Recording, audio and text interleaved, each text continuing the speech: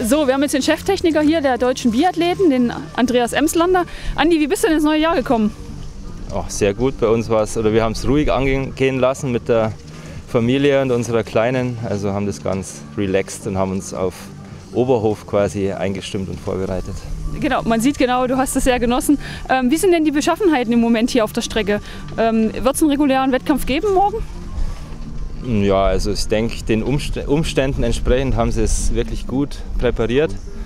Es ist natürlich stellenweise sehr weich, aber kann sein, dass sie mit Salz noch arbeiten werden. Aber also ich denke mal nicht, dass die vorderen oder hinteren Läufer irgendwie unterschiedliche Bedingungen haben werden. Also du machst jetzt auf uns hier einen recht entspannten Eindruck. Wird alles gut gehen die nächsten Tage? Ich denke schon, ja. Also ich bin zuversichtlich. Gut, dann hoffen wir auch, dass die Deutschen auch die guten Bretter alle morgen rauspacken. Und äh, die Jungs, denke ich, geben wieder ihr Bestes. Und ähm, wir wünschen euch alles Gute und drücken euch natürlich die Daumen für die nächsten Tage. Jawohl, Dankeschön. Bitte.